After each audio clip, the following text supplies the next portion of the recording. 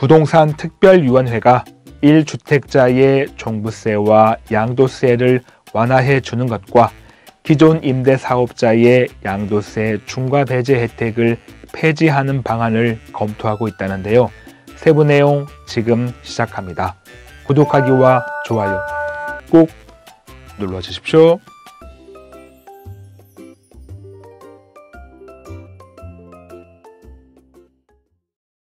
네, 안녕하세요. 박찬웅의 부동산 쇼! 부자남 박찬웅입니다. 정부와 부동산 특별위원회가 종합부동산세를 지금처럼 유지할 것인가 아니면 과세 대상을 줄여줄 것인가 1주택자의 양도세 면제 기준을 완화할 것인가 기존 임대사업자의 양도세 중과 배제 혜택을 폐지할 것인가를 놓고 저울질을 하고 있다는데요. 과연 실효성 있는 세제 개편일지 알아보겠습니다. 2021년 5월 24일 동아일보에 기재된 종부세 기준 9억에서 12억 된 부과 대상 52만 채가 25만 채라는 제목의 기사를 참고로 영상을 만들었습니다. 먼저 좋은 기사 올려주신 동아일보 이세샘 기자에게 감사 말씀 먼저 드리고요. 기사에서 부동산 특별위원회가 세제 개편을 검토하고 있다라고 했습니다. 크게 세 가지가 있는데요. 첫 번째는 종합부동산세를 어떻게 할 것인가? 두 번째는 1주택자의 양도소득세를 어떻게 할 것인가? 마지막 세 번째는 기존 임대사업자의 양도세 중과 배제 혜택을 어떻게 할 것인가? 라는 부분입니다. 사실 여당이 서울시장 선거 참패 이후로 부동산 세제 완화 카드를 만지작거렸죠.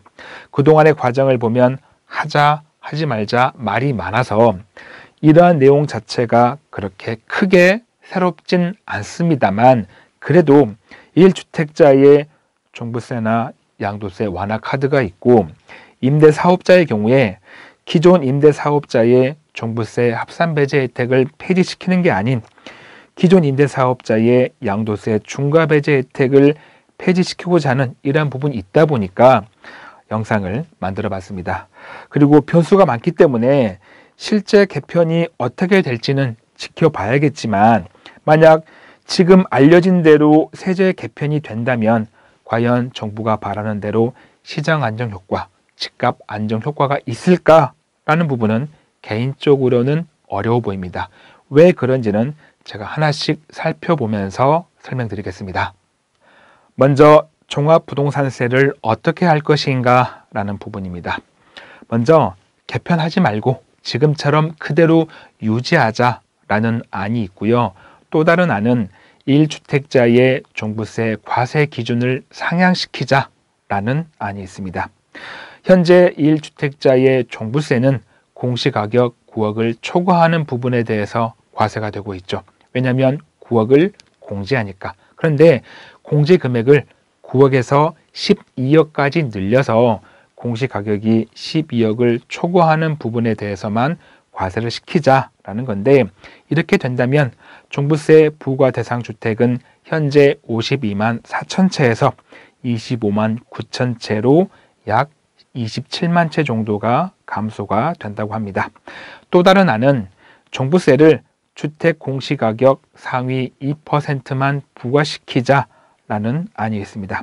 이렇게 된다면 종부세 대상 주택이 28만 4,100채로 감소가 된다고 하죠.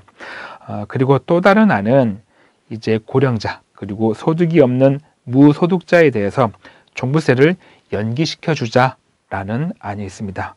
세부적으로 어떻게 연기시켜 줄 것인가 라는 건 기사에 나와 있지 않습니다만 어, 나름 추측을 해본다면 아마도 올 4월 20일 날 김병욱 의원이 대표 발의했던 종부세법 일부 개정안에 나와 있는 과세 이연 제도를 따르지 않을까 싶습니다. 1세대 1주택자의 경우에 만 60세 이상은 종부세를 어, 후에 양도하거나 상속하거나 증여할 때 그때 과세시키자라는 건데 아마도 이거를 그대로 따라가지 않을까 싶습니다. 자, 그러면 이러한 종부세 세제 개편으로 시장 효과는 나타날까? 여기서 말하는 시장 효과는 집값 안정 효과를 말하겠죠. 그런데 현 제도에서도 현 제도라 함은 종부세 세율이 강화되고 다주택자는 추가 세율을 적용받고 거기다가 공시가격 현실화율 적용으로 올해 공시가격이 전년 대비 급등해서 보유세 부담이 상당한 지금에도 집값 안정 효과는 실패했었습니다. 왜냐?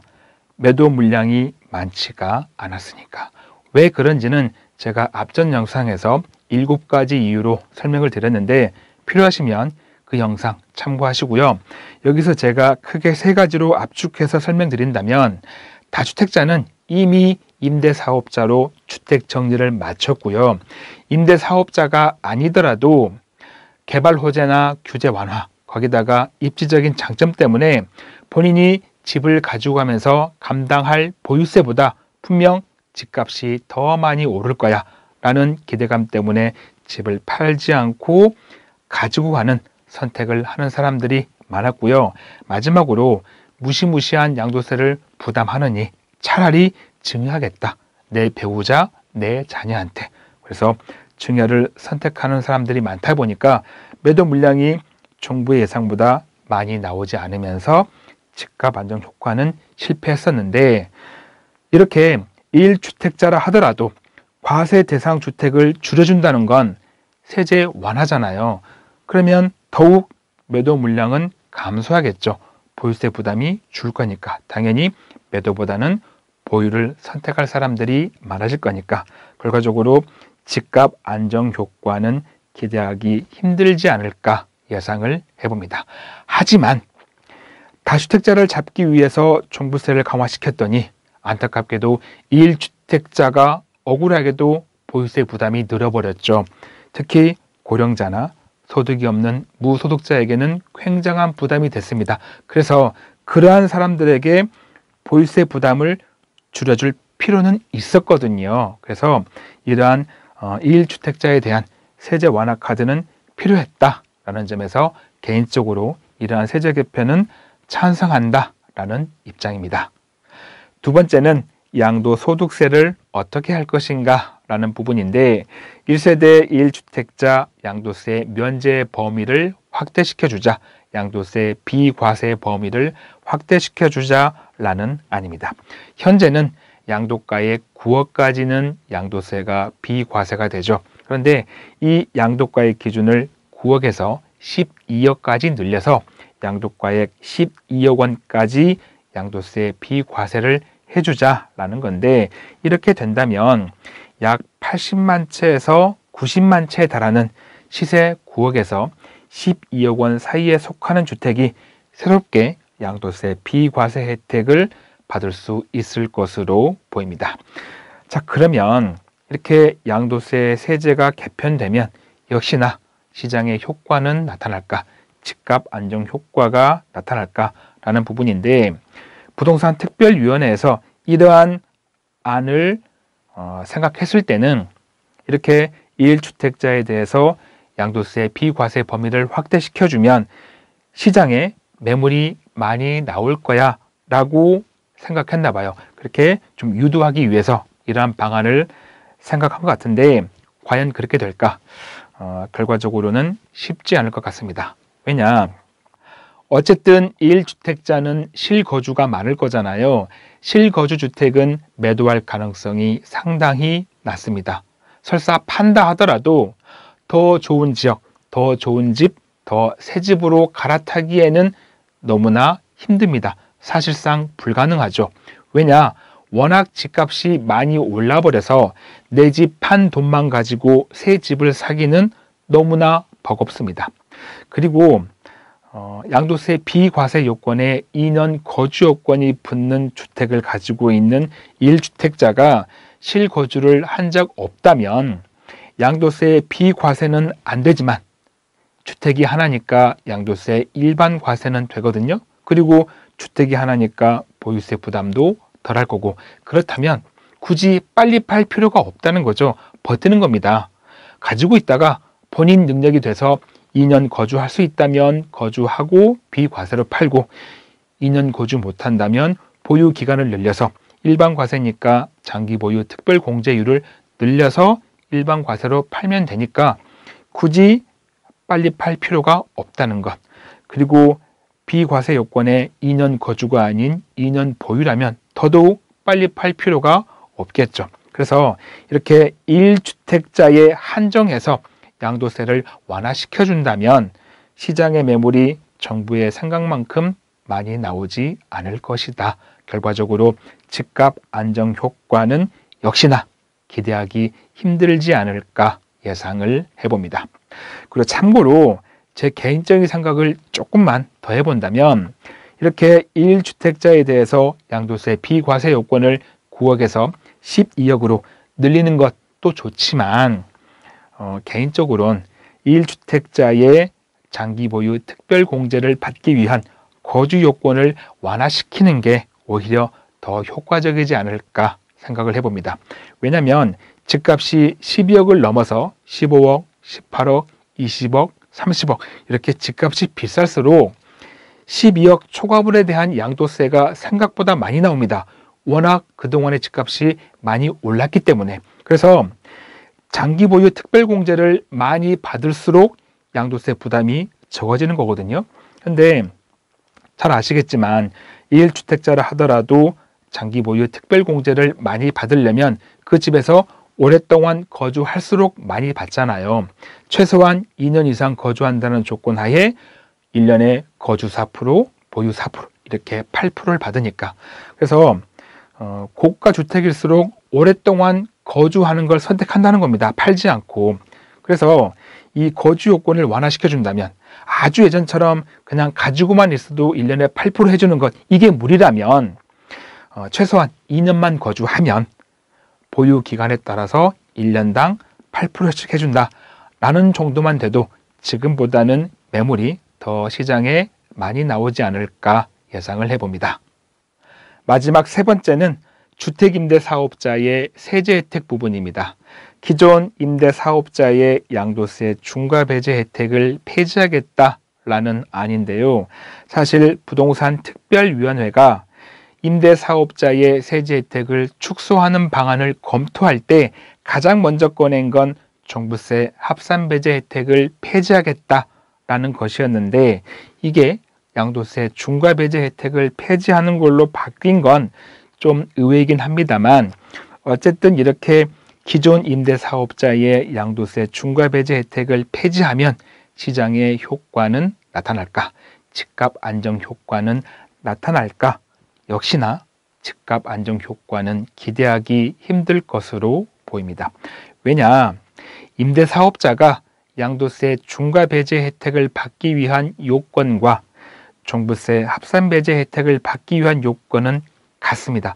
때문에 임대 사업자가 양도세 중과 배제 혜택을 받으면 종부세 합산 배제 혜택도 같이 받거든요. 그런데 이 두 가지를 모두 폐지하지 않고 양도세 중과 배제 혜택만 폐지한다면 종부세 합산 배제 혜택은 남아 있는 거잖아요.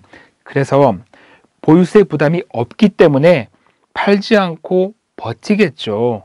정부가 이기나 내가 이기나 어차피 보유세 부담 없으니까 팔지 않고 버티다가 양도세 중과가 없어지거나 아니면 혹시나 임대사업자의 세제 혜택이 다시 부활한다면 그때 팔면 되니까 굳이 집을 빨리 팔 필요가 없다는 거고요.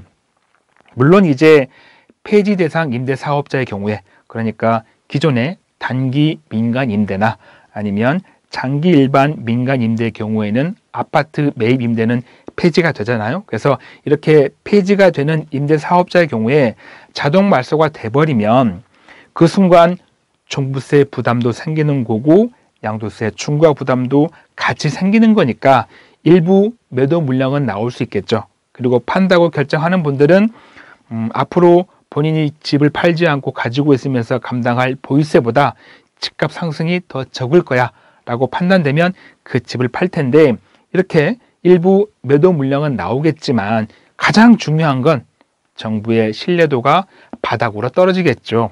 이거는 본인들 유리한 대로 혜택을 줬다가 뺏었다가 마음대로 하니까 정부의 신뢰도가 바닥으로 떨어진다는 것. 그리고 또 한 가지 중요한 건 음, 임대 사업자로 등록되어 있는 아파트는 어, 작년 6월 기준 약 36만 979채입니다. 이 데이터는 전국에 2019년 11월 기준 전국 아파트가 1128만 7048채니까 전국 아파트 대비해 본다면 임대사업자로 등록되어 있는 아파트는 겨우 3.2% 정도밖에 안 되거든요. 근데 어, 집값을 움직이는 건 아파트잖아요. 아파트가 집값을 움직이는 주된 요인이니까. 근데 이 아파트 비중이 너무 낮아요. 임대사업자로 등록되어 있는. 그러니까 이 아파트가 다 매도 물량으로 나온다 하더라도 집값에 그렇게 크게 영향을 미치지 않는다는 것. 그래서 어, 집값 안정 효과는 기대하기 힘들지 않을까 예상을 해봅니다. 이렇게 부동산 특별위원회가 검토 중인 세제 개편안 세 가지를 살펴봤는데요. 집값 안정 효과는 기대하기 힘들지만 1주택자에 대해서 종부세와 양도세 완화는 참 잘한 것 같다 라는 생각이 들고요. 영상을 보시는 여러분께서도 짧은 시간에 이렇게 세제가 많이 바뀌잖아요. 그래서 그 변화를 잘 지켜보시면서 여러분의 재테크에 능동적이고 신속한 대처가 필요하겠습니다. 마무리할 시간입니다. 저에게 큰 힘이 되는 구독하기와 좋아요, 알림 설정 꼭 눌러주시고요. 저는 다음 영상에도 최선을 다하겠습니다. 고맙습니다.